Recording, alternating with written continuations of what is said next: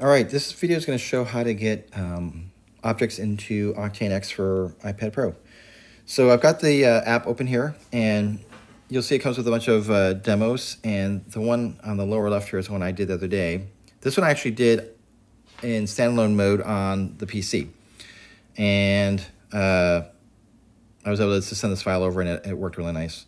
And this is like the iPad uh, iPad uh, interface. But I'm going to show how to set up a scene from scratch. I'm going to use my Sketchbot eyeball that I've been working on for the last couple days. If you guys have been following me on my socials, you'll see that I had uh, been saving it out from Maya. So let's go ahead and do this. Let's go ahead and exit to, we'll go standalone mode. You have to get to do this currently right now in order to access this file new menu. They're going to change some of this stuff in the next update. So right now you've got this blank scene and you can you can resize I think here. Yeah, you can resize stuff a little bit. It's really hard to, to pick these dividers. They should uh, have a little bit more uh, delineation about where you're supposed to pick. Um, so in order to get something in here, you need to right click on the node graph editor. Well, there's no way to right click with Apple Pencil. You have to use your finger. This is something I had to find out about online. If you hold your finger for about two seconds, it'll pop up a menu. Uh, this is like equivalent to a right click. And then you can um, find the import down at the bottom here. So you import, and I'm going to import the uh, character that I've been working on. I've saved it out as a FBX file from Maya because I wanted to retopologize it after uh, after doing a basic sketch in um, in Nomad Sculpt. I wanted to clean it up. So right now you don't see anything because it's like kind of off to the upper left, which is kind of weird. I wish Octane, if you're listening, if you could like show the node right where you clicked on your finger, that'd be kind of helpful. But right now you have to kind of go over here and like reframe your scene to see it. So right now we've got the character in here, but we don't see anything yet because it's not hooked up to a, a camera or a render target. So you have to, again, once again, click and hold. Uh, the very bottom here, render target, accept that. And now if you take the eyeball mech and connect it to the geometry and then click on render target, we should see something. There we go. There's our character. And I'm to pinch to zoom. Another thing here, Otoy, is that this pinch to zoom is very wonky. Like I'm actually clicking and with two fingers to, to do the gestures, but it's it's snapping. Every time I, I release, it snaps and it does this really rotation and it goes out of focus. So I'm hoping this will be fixed in the next next iteration. You have to be a little bit more iPad friendly here. I know that this is a port from the desktop version, but it's a little wonky with the gestures at the moment. Um, ugh, it's really frustrating. I'm trying to move it into, into center it up here. One interesting thing to note here is that you'll see that the character came in with two keyframes because I actually had a zeroed out pose, which is I was doing a rudimentary rig. And, and you can see here on this little slider, I can slide it over to, to one. And there we go. There's there, back and forth. So you can see that you can actually check out your, you can scroll through your animation here. So right now I've got the character in here and that's it. Um, let's go ahead some lighting. Uh, again, click hold to enact the right click and then we'll go up to environments and we'll just use the default daylight environment. And you can sort of pinch, pinch and drag again, but again, this is all, this is kind of wonky when you, two fingers to pinch to hold and pan or zoom, but it's really, it's really wonky. Um, I just have been clicking on this button to frame all. Um, and you can move these around. We're going to just take the output it here and just click it in. We want to do it into environment. Don't do it into a visible environment, do it into environment. And then you'll see it pops in. And you can go through and you can change all these settings. But one cool thing to do is here is instead of having to type in values, you can just kind of click on this little uh, map and kind of like use this as a picking your location, just to kind of quickly kind of go through and move it around and get, and get some lighting here. So this is all cool. And I want to put a plane in here too so I can have the character so I can see some shadows. So right now, I'm going to add another piece of geometry. So I'm going to use a node. Again, right click, press and hold. And we're going to go up to geometry, add a geometric primitive. And again, it's up here in the upper, you can kind of see that, you can see it hiding over here. I'm going to just tap on that button to frame everything. And here's an interesting thing. If I was to actually take this now and like, how am I supposed to connect this? Do I just connect it to the render target? Nope, because what it does is that just it turned off the eyeball mech. And also, why is it black? Well, it happens to be set to a box, so we're set, we're inside a box right now. So what we want to do is, I can go back and change this back this way, and it pops back to that. we need to create a geometric node, a group node, sorry. So we're going to right click, geometry group, and this is going to allow us to uh, connect multiple pieces of whatever objects you have. So we'll take the character and we'll take this primitive and then we'll take this over to the geometry. And now it's working, but we're not, again, we have to change the primitive. So right now the primitive is set to a box. I'll go up here and change it to a plane. And now we've got the plane with, we can see the shadows being cast. I can go back over here to the daylight and that works.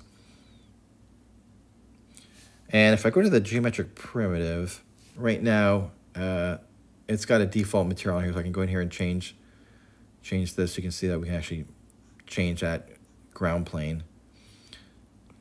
We're going to keep it kind of a neutral gray for now. All right, so now let's start talking about how we get our materials assigned here. So what we'll do is, when I set this up in Maya, I had already played around with getting this to work in Octane on Maya. So when I exported the OBJ, I'm sorry, the FBX file, I already had these uh, materials assigned. You could assign them in here, but these are already pre-assigned, so it helps me out because I just I, I know what's what. So like material one was my overall armor color. So and it's a universal material, so I'll just keep it set to that, and we'll go ahead and choose my trademarked, uh, not really, but Sketchbot orange.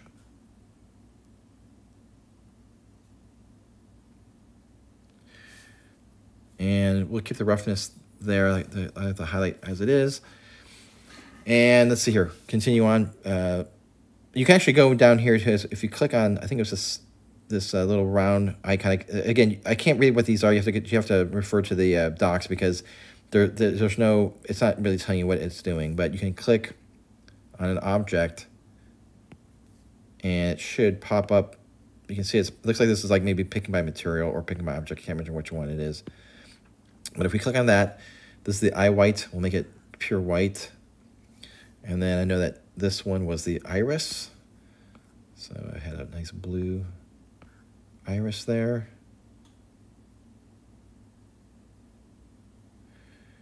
And then we've got the, uh, the pupil, which I want this to be, I want it to be kind of a flat, so we'll go ahead and change this to a, a diffuse material. So I don't get any specular component in there. And then the last one is the uh, material, the um, metal material. And we'll go ahead and just dial in metallic. You can see it's pretty shiny. Ugh, this pinch and zoom is driving me nuts. Let's uh, go to this little AFI button here. That's autofocus. I can click on that. You can see how it's Let's go ahead. This this uh, depth of field is really wonky, so let's go into the camera and take the uh, aperture up a little bit or down, so it's not too. I like a little bit of depth of field, but right now that was use too much. All right, now I can I can click and it'll stay in focus. So let's go back to this material, and we will take the roughness up a little bit so it's more of a brush metal pretty cool. And let's zoom out. And if I click on the AFI button again, on focus. Now let's add one more object here. Let's add another piece of geometry because I want to show you guys another thing. So if, say again, we right click, add geometry node, primitive, and so now I've, I've got two inputs, but how do I add more to this? I can't override this. So what I'll do is if you click on the geometry group, you go up to the top, you can see it says add input. Now watch what happens when I click on add input. You're actually adding another node down here, uh, in input. So you can add as many as you need to. So we'll go ahead and now just add this one into it. And again, because it's this box that's sitting in the center, we'll change this to, um, let's change it like a, um, change to a sphere. And there is a way to set up a placement node to um, to change the scale. And I think it does it by default when I went over into the iPad mode, but let, I'll show you how to do it here. So I, if I remember correctly, click, right click again, and uh, this time I have to find it because I can't remember where it's at. So I find type, we'll type in placement.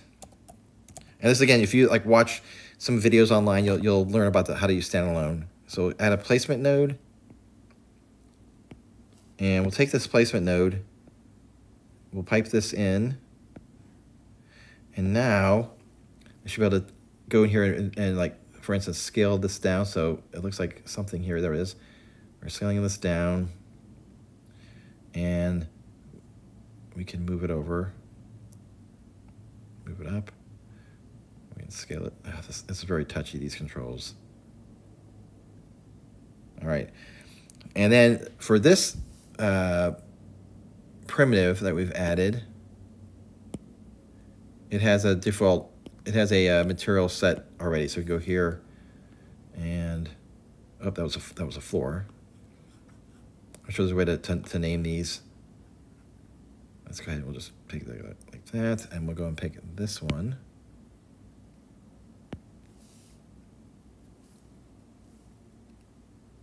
I'm sorry, grab the wrong one. This one. And we'll make that like a a red sphere. And let's make that universal. So I get some highlights in there.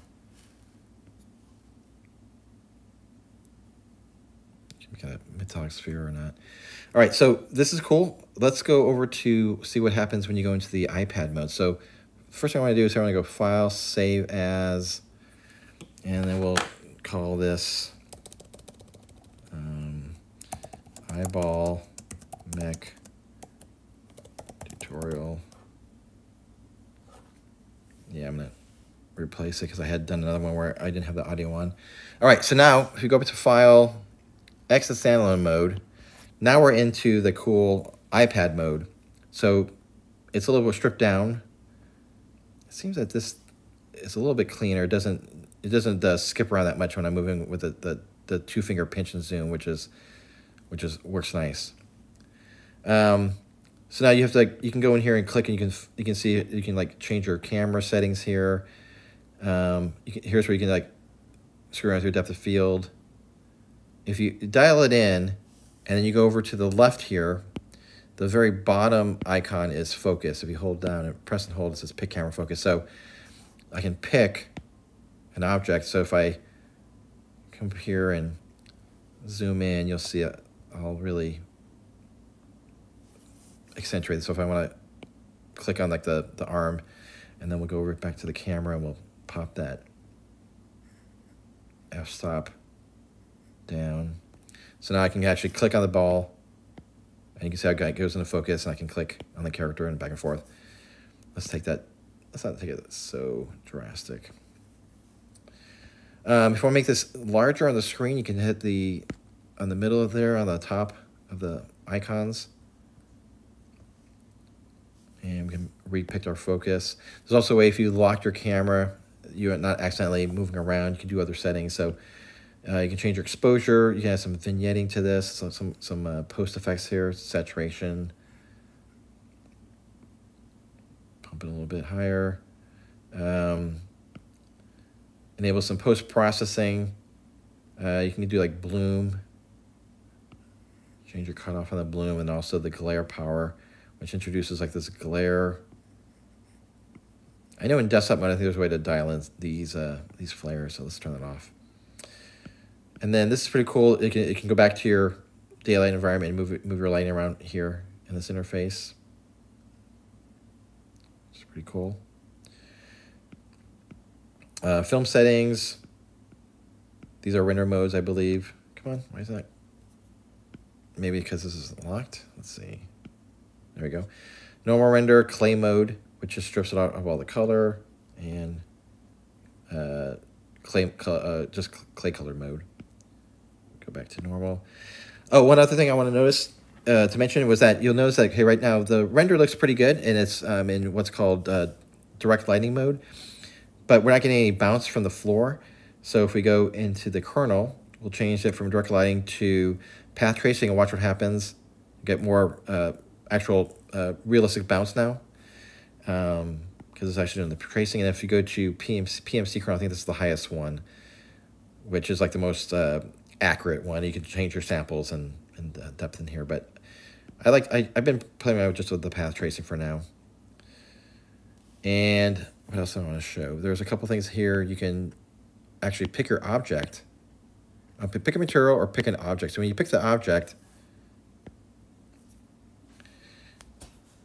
sorry, we want to activate it. And then if you click on one of these icons for translation, rotation, or scale, if I pick and then click on it, I believe that, I hope that grabbed the ball. I don't know if that grabbed it. I might have grabbed the plane. This is also a little bit wonky. I'm, I'm, I'm discovering that it's not actually picking objects that I'm, I'm clicking on, which is odd. Should be picking that, that should be my ball. I, something I, I picked here. I don't know. Okay, looks like, looks like I picked the plane. also, notice I, right now there's no way to undo this. I can't like double tap to, uh, like in Procreate to, to undo. So be a little aware about that. I'm sure that's something they're going to have to add into this as well. But I don't know why I cannot pick this ball. It's like it like I'm clicking on it, but it's not it's not picking it. So Otoy, if you're watching again, that's another bug. Anyhow, I just want to show this kind of quick quickly to show how easy it is to get your objects in here. Let's, uh, oh, one other cool thing is if you go into the upper left menu here and you click on um, advanced mode, so while you're in the iPad uh, interface, you can click on these and now you get the scene inspectors and then all the nodes that you expected in the stand standalone version, which is kind of cool. So you have a little bit more control and you have to dive into all the stuff at some point, but that's pretty cool. And then you can turn that off. And what is LDR mode? I don't know what that does. HDR mode. I'm not seeing a difference between these two. I don't. Uh, we need some documentation to tell us what all the stuff is doing. So I did save this. I'll save the project. I'll just save it one more time. And if I go now to exit to gallery, I think it'll show up in the gallery. Hmm. It's not there. Let's see if I lost. Let me see if I can load it up. iPad. Back to my Octane and.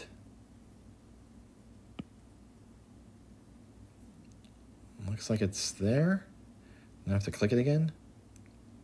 Okay, that's a little wonky, but it's there. And looks like we can go back. I don't know how I got it to work as far as rendering a, a thumbnail on that previous one, if I exit to standalone, we'll say yes. There it goes. All right, cool. So that worked. So yeah, so um, check it out. Definitely uh, go online and uh, a couple of if you're if you're using the desktop version, I was watching some of the cool uh, Octane Universe demos from Elmer Keller. If you want to check out the more about the standalone, read the docs, and also I think it was Andrew Pierce or Alex Pierce on YouTube, I found he has a couple of really good like getting started um, in um, standalone mode. So I, I recommend checking those out. But yeah, jump in and have fun.